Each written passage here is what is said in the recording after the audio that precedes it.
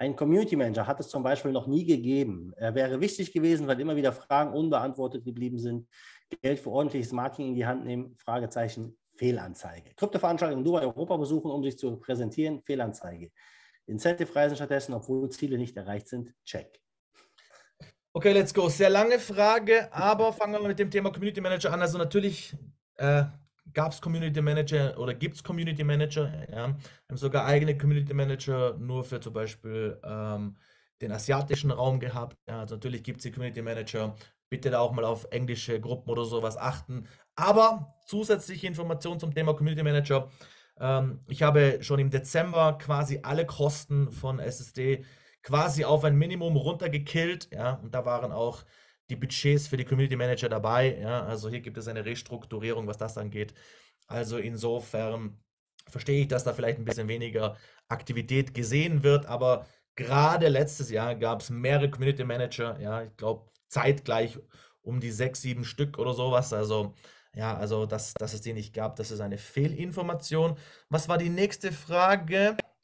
Kryptoveranstaltungen Dubai, Europa. Ähm, also letztes Jahr haben wir diese Kryptoveranstaltungen gemacht, haben ein Budget freigegeben für Niklas Darwinghausen und die Core-Veranstaltung. Wo war das nochmal, Dennis? Wir waren da nicht vor Ort. In Rumänien. in Ungarn? Rumänien, Rumänien. Ah, Rumänien, Entschuldigung, ja. Also ähm, Veranstaltungen gab es, ja, und also aber Veranstaltungen, jetzt aktuell gerade Messestand kaufen oder sowas auf einer Krypto-Veranstaltung. Wobei, wobei natürlich solche Veranstaltungen, das sind ja auch eher so repräsentative Sachen. Ich sag mal, was wirklich dabei rumkommt, das lässt sich halt sehr, sehr schwer messen. Und ähm, ich sag mal, das, äh, ja, ob das dann halt dann die besten Ausgaben sind, ist immer so eine große Frage. Und ähm, du schreibst hier in dem Kommentar auch, ja, äh, Incentive-Reisen stattdessen check, ja. Und das ist eigentlich auch so etwas, was ich persönlich glaube, ein viel größeres Gewicht hat, ja. Natürlich ist es schön, sich irgendwo auf einer Messe zu präsentieren, wo irgendwelche Leute, die nichts mit dem Projekt zu tun haben, vielleicht von dir erfahren. Aber dass die Top-Leute, die Top-Umsatz bringen, hier auf Incentive-Reisen gehen, ich glaube, das ist, äh, wenn wir aus der Vergangenheit uns einfach mal angucken, was wir da so gemacht haben, AK, ist das immer ein Weg gewesen, der eigentlich am meisten motiviert hat, das Team am meisten zusammengeschweißt hat und einfach viel besser investiertes Geld ist, als irgendwo auf ein äh, Event zu gehen, weil man einfach die Leute besser bindet und ein besseres Verhältnis hat und dementsprechend auch belohnt, oder? Sprechen wir über Incentive-Reisen. Also Incentive-Reisen Jetzt gerade das nächste Incentive ist für den März geplant. Ja, dazu gibt es auch bald wieder Informationen. Aber der Punkt ist, Incentives sind messbar. Ja, die Verkäuferresultate sind messbar. Hat sich jemand dazu qualifiziert, zahlt er nichts, genießt er das. Hat er vielleicht noch mehr Umsatz gemacht als der andere, genießt er das vielleicht in einer etwas optimierteren Version. Also es gab kein Incentive, welches nicht messbar war. Also ausnahmslos waren die alle messbar. Und auch dort war natürlich auch starkes Marketing im Nachhinein präsent. Also ich fand das immer ganz gut, ja, aber kann mir auch vorstellen, dass es weniger Incentives im Jahr 2023 gibt. Es muss wirklich messbar sein. Aktuell haben wir nichts Messbares, ja. Aber wenn wir wieder was Messbares haben, dann ist das natürlich einfach, qualifiziert sich jemand dafür, wunderbar. Super, dann ist er da dabei, qualifiziert er sich nicht dafür, macht den Umsatz zum Beispiel nicht oder diese Aktivitäten nicht, dann ist das ja kein Geschenk oder so, sondern sind die Leute einfach nicht dabei, sondern müssen das bezahlen. Also ich finde, das ist schon immer sehr gut abgelaufen in meinen Augen vom Franz. Äh, wann Abstimmung bezüglich Mountain Wolf Listing? Ich denke, die Mehrheit will wenigstens dorthin. Und wie wirken wir gegen schlechte Nachrichten in Google, Scam und so weiter? Franz, äh, super geniale Frage. Ich finde, wir sollten das schon nächste Woche machen. Ich werde das jetzt gleich auch dem Daniel schreiben, dass wir für nächste Woche ein Voting machen bezüglich Mountain Wolf, ob das wieder ein Thema ist, was euch interessiert. Ich wusste das nicht weil ich bin immer noch der Überzeugung, dass wir weniger als 1000 Kunden bei Mountain Wolf hatten, dass einfach Mountain Wolf nicht so gut in der Community ankam. Aber lasst uns gleich nächste Woche ein Voting machen. Dennis, bitte lass mir das nicht vergessen. Ich werde das jetzt hier gleich nochmal auch parallel aufschreiben. Ja, Scams zum Thema oder halt, sag ich mal, Google und Scams und Krypto. Also in einem Atemzug dürft ihr nicht vergessen, Freunde. Ähm, ja, wird halt oft Scam und Krypto verwendet. Also Schlagwörter wie Scam ranken einfach. Also es wird es auf Google immer geben. Das gab es von mir schon vor, ja, keine Ahnung, sieben, acht Jahren. Ja, das gab es von jeder Firma, von jedem Projekt. Ja, Leute, die einfach eine große Distanz dazu haben, nicht alle Informationen haben oder einfach nur die anonymen Profile genießen, schreiben halt gerne sowas rein. Man kann sich da nicht zu 100% wehren, ja. Aber ich denke, wir sind allgemein auf Google und so weiter gut aufgestellt, nicht schlecht aufgestellt. Dass wir kein Scam sind, ich meine, da brauchen wir eigentlich nicht diskutieren. Wir sitzen hier zwei Jahre jetzt schon aktiv am Projekt glaube, das ist für alle geklärt, aber es wird sich niemals zu 100% vermeiden lassen. Ja? Also egal, was du eingibst im Internet, es werden immer die Negativität oder es wird immer die Negativität ranken. Ja? Selbst wenn du Mutter Teresa googelst, ist der zweite Artikel der Dark Side of Mother Teresa. Ich kannte sie jetzt nicht persönlich, aber ich glaube, die hat ziemlich viel Gutes getan, die Frau. Was sie damit einfach sagen will, ist, der Punkt ist, Negativität bringt Views und deswegen wird es über jedes Projekt diesen Scam, ist das ein Scam, Fragezeichen geben. Leute werden draufklicken, das bringt Traffic. Zu 100% kriegt man das nie da wirklich weg, aber wir sind da natürlich dahinter, dass Google und so weiter. Und wie man das auch wegkriegt, Leute, indem man einfach äh, Blogartikel schreibt, Videos macht und so weiter. Da ist natürlich auch die Community gefragt, einfach ja, äh, Berichte zu schreiben, Erfahrungen und so weiter. Ähm, je mehr positive Sachen natürlich da sind, desto äh, weiter rutschen die negativen in den meisten Fällen auch nach unten. Aber Eike, du sagst es, äh, das Internet lebt von negativen Nachrichten. Ja, guck mal, schalt mal den Fernseher ein. Ja, äh, und Nachrichten, da kommt nichts Positives. Ja, da ist, das, das zieht halt nicht. Ne? Und so ist es halt auch. Ja. Aber kann man nicht Frage gehen, da möchte ich nochmal einhaken. Es ist ein Community-Projekt, SSD ist ein Community-Projekt. Auch dieses Jahr wird die DAO nochmal deutlich relevanter als in der Vergangenheit. Was ich damit einfach sagen will, ist, wenn ihr Kommentare seht, dann kommentiert die gerne gegen. Gerade auf CMC habe ich jetzt gesehen, hat mir jemand auf Telegram wieder zugeschickt, gibt es negative Kommentare. Hinterlasst gerne mal einen positiven Kommentar. Aber wie auch immer, nur gesagt, es sei ein Community-Projekt. Also wenn ihr Negativität im Internet über SSDs seht, ihr das nicht so denkt, dann schreibt das super gerne dazu und gebt gerne ein positives Feedback oder einen positiven Kommentar ab. Erklär doch mal den Fee Refund Pool genauer. Elmar, ähm, der Fee Refund Pool ist ja relativ einfach zu erklären. Bei jedem Swap, den du hier durchführst auf der DEX, entstehen Gebühren. Und wenn du in diesem Transaction Fee Refund Pool bist, hast du die Möglichkeit, ja, bis zu 100 Prozent dieser Fees, die du zahlst, die Transaction Fees, die Tron-Gebühren wieder zurückzuerhalten. Dafür musst du SST staken, ja, und zwar 25.000 SST. Und das ist ja ziemlich wenig, würde ich mal sagen. Ja, also 25.000 SSD sind 120 Dollar aktuell gerade mal.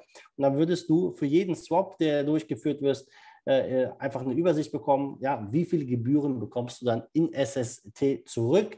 Ja, man braucht sich aber natürlich realistischerweise aktuell einfach nur mal die Depradar-Zahlen angucken. Es swappen sehr wenig Leute aktuell. Es ist sehr wenig Aktivität einfach drin. Ja, im Bärenmarkt ist es nun mal so.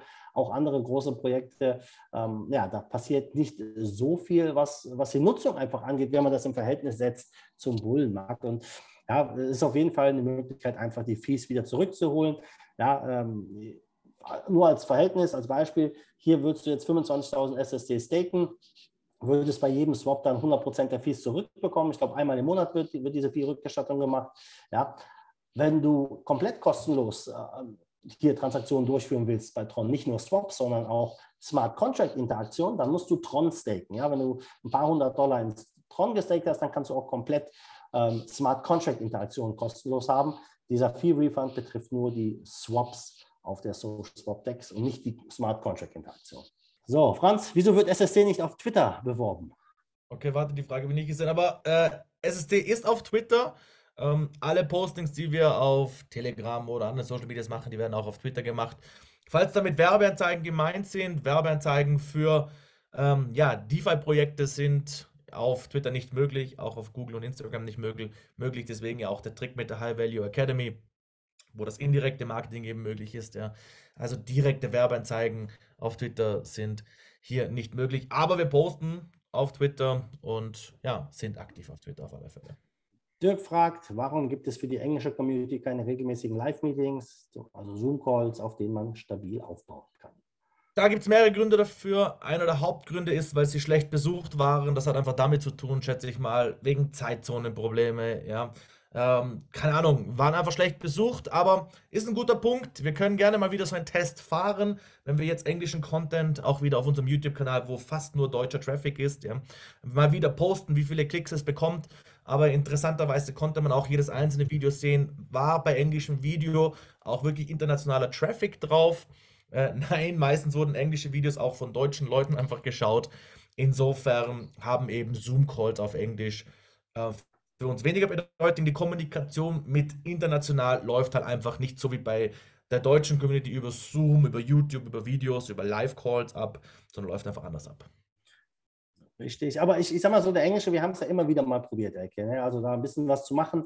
Ja. Ähm, es ist einfach viel zu wenig Aktivität auch und es gab jetzt nicht wirklich Lieder aus dem englischsprachigen Raum. Wir hatten immer wieder mal ein paar Leute auch in Dubai dabei, die ein bisschen was gemacht wollten, aber dann kamen sie aus Singapur oder sonst wo, dann war das live immer sehr, sehr schwierig und es hat einfach äh, die Zeit, äh, ich sag mal, die man investiert hat, da kam einfach gar nicht zurück. Das Verhältnis hat überhaupt nicht gestimmt. Also es, es war auch irgendwie äh, gefühlt immer so, dass wir im Deutschen einfach äh, die stärkste Präsenz haben. Ob wir vielleicht von Anfang an hätten auf Englisch starten können, äh, wären wir dann so groß geworden im deutschsprachigen Raum. Ja, das sind natürlich alles Fragen, die man jetzt, äh, wo man nur spekulieren kann.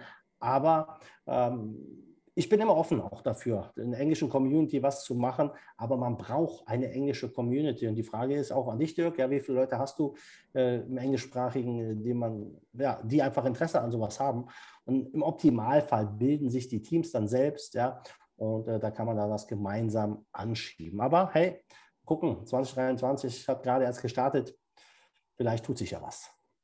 Absolut. So, Sauerländer fragt, habt ihr euch schon mit der Mika-Regulation auseinandergesetzt? Nö, sagt mir nichts. Also, also Mika ist äh, letztendlich eine äh, ja, Verordnung über, ja, eine Krypto-Verordnung äh, der Europäischen Union, also das steht dann für äh, EU ja, Markets in Crypto Assets, Mika, ja, die ähm, da geht es halt viel um das Thema Regulierung, viel um das Thema äh, Lizenzen, äh, wer darf in Europa was anbieten, Verbraucherschutz, äh, also dass man halt in Europa nur noch künftig mit Lizenz operieren darf und so weiter und so fort. Die Frage ist natürlich bei sowas ja, inwiefern das wirklich dann auch greifen kann bei, ähm, bei dezentralen Projekten. Ja, das vor allem, wenn wir jetzt in, in das ganze Projekt in DAO überführen, ähm, natürlich wird es dann auch früher später regulieren gehen, aber wenn solche Smart Contracts einmal stehen, ist es halt immer sehr, sehr schwierig. Ja, also das, es wurde eh noch nicht drüber entschieden, über diese Mika-Geschichte, aber ähm, diese Verordnung, ich sehe die eh sehr, sehr kritisch, ja. Ähm, ob vielleicht ist es äh, eher ein Hindernis, vielleicht ist es eher ein Katalysator dann für, für einen Bullrun. Es ist schwer zu sagen, ja. Aber es ist klar, Regulierung wird immer tougher. Wir sehen es auch nach FTX, ja. Und früher oder später wird man an diesen ganzen Sachen nicht vorbeikommen. Aber der dezentrale Bereich, der wird halt auch weiter wachsen. Und ähm, der, der dezentrale Bereich doesn't care, really, ja. Was irgendwo geschrieben steht. Ja, wenn du einen Smart Contract irgendwo in der Blockchain hast, er ist einfach unveränderlich, ja. Und ähm, man kann natürlich dann darüber diskutieren, inwiefern sowas sinnvoll ist oder nicht. Aber da müssen wir einfach mal abwarten, ja, wo da die Reise hingeht und welche Lizenzen dann, dann wirklich nötig sind.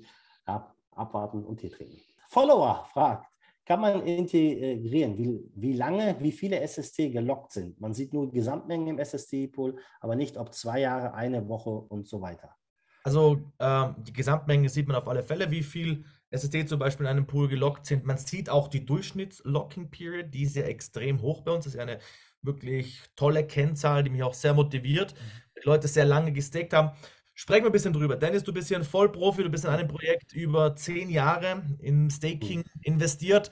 Sprechen wir vielleicht über das ja. Thema Staking Leiter. Etwas, was mir zum Beispiel sehr, sehr gut gefällt, ist, ich sehe das jetzt auch häufiger, Leute haben jetzt kurzfristig ein paar Stakes gemacht auf zehn Wochen, aber auch viele langfristige Stakes gemacht. Wir haben ja schon häufig darüber gesprochen. Nehmt euch auch gerne Stakes auf ein bestimmtes Datum, zum Beispiel das Halving 2024. Ja. Also wenn ihr dahin Stakes macht, ich kann mir einfach schlecht vorstellen, dass wir da nicht in einer tollen, wirklich bullischen Stimmung sein werden im Jahr 2024. Ja? Oder auf euren Geburtstag oder auf Weihnachten. Ich mache das auch bei anderen DeFi-Projekten, die eben diese Locked Staked oder diese Delayed Gratification, so nennt man das auch, Protokolle anbieten und man sich wirklich im Terminkalender ein Datum aussucht, wo diese Dinge auslaufen. Das ist vielleicht auch etwas, was ich euch mit auf den Weg geben möchte, ja, wenn ihr an eure Locked Stakes denkt. Ja, sucht euch vielleicht ein Datum oder Termin aus, wo ihr vielleicht wirklich eben irgendwas darin seht, ja, was auch vielleicht eine Bedeutung hat.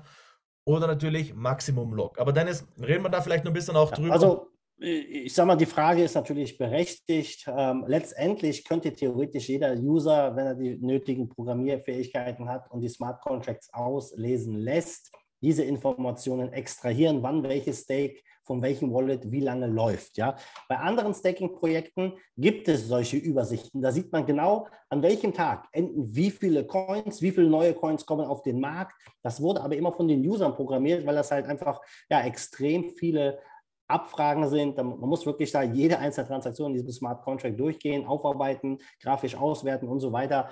Ähm, das war jetzt bei uns keine Priorität. Da sind wir einfach auch, ich sag mal, ein bisschen zu klein für, was die gelockte Summe angeht. Das sind jetzt hier nicht Multimillionen, wie es in anderen Projekten sind oder hunderte Millionen teilweise, sondern relativ überschaubare Summen. Aber ich finde äh, die Idee grundsätzlich spannend, ja, zum Beispiel so eine Übersichtsseite zu haben, wo man sieht, okay, in dieser Woche kommen so und so viele Millionen aus dem Locking raus. Da kommen wenige, weil dann könnte man theoretisch auch ja, seine äh, Locking Period timen auf den Zeitpunkt, wo vielleicht nicht so viele Coins rauskommen, ja, weil vermutet man, dass wenn viele Coins rauskommen, wird der Abverkauf höher. Vielleicht sinkt der Preis und so weiter. Das sind einfach so ein paar Zahlen, die man natürlich gerne hätte, so ist das halt nicht ganz so leicht äh, auszulesen äh, und immer mit sehr, sehr viel Aufwand verbunden, solche ja, statistischen Sachen auszuwerten aus der Blockchain. Aber definitiv finde find ich spannend. Ja, sollte man mal einfach mal auf dem Plan haben. Vielleicht ist das was. Vielleicht hat auch jemand Lust aus der Community ja, das, das zu programmieren. Das wollte ich gerade sagen, ja. ja.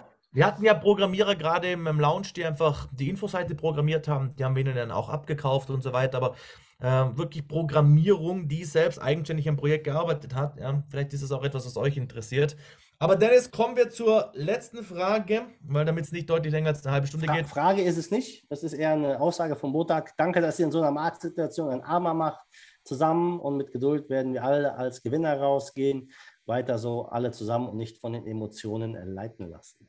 Das ist natürlich wirklich ein schöner Kommentar und danke für da, dafür auf alle Fälle. Es ist sicher das, was uns einzigartig macht, ja, weil mhm. es sind viele Projekte jetzt in dieser Marktsituation gestorben, ja, viele Projekte einfach nicht mehr erreichbar, Webseiten down, also hier gibt es wieder furchtbare Geschichten. Schaut bitte wirklich, wenn ihr nur eine Sekunde an das Durchhaltevermögen von Dennis kann man da hier eh nicht dran zweifeln, aber von uns zweifeln. Geht, geht aber nur auf Dennis YouTube-Kanal, der im Bärenmarkt trotzdem noch jeden Tag ein Video rausgeknallt hat. Ja. Das Durchhaltevermögen ist da, die Kreativität ist da, die Ideen sind da. Ja. Jetzt auch Fixkosten so tief, also auch die Kostenstruktur ist da, um das Projekt erfolgreich zu machen. Was wirklich der Auslöser ist, den den Erfolg wirklich auch bringt, das wissen wir heute noch nicht. Wann dieser Erfolg kommen wird. Ja, aber Alois, da, da, muss ich, da muss ich kurz einhaken. Wir haben Bitte. nämlich ja auf der Folie darüber gesprochen, dass wir neue Listings dieses Jahr haben. Ja, das ist cool. Da ist, da ist ein Listing dabei, ähm, da sind wir halt jetzt gerade dabei, das ein bisschen zu analysieren.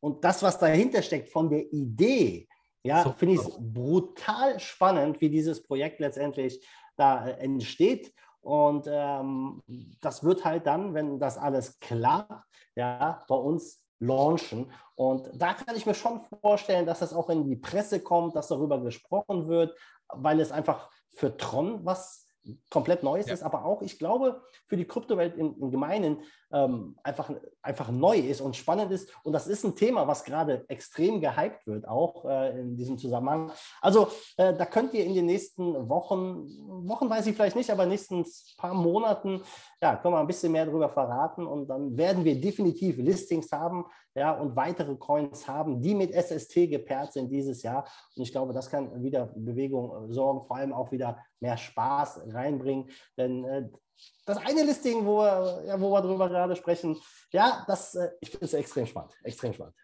Nee, es wird sich einiges tun dieses Jahr. Dennis ist hier sehr optimistisch, was diese Listings angeht. Ich muss sagen, ich auch. Es bringt frisches Geld ins Projekt. Es bringt neue Aufmerksamkeit ins Projekt, ja.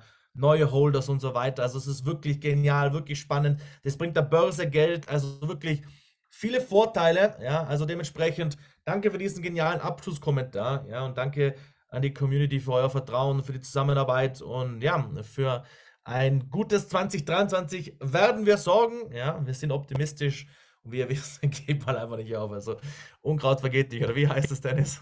Ich glaube schon.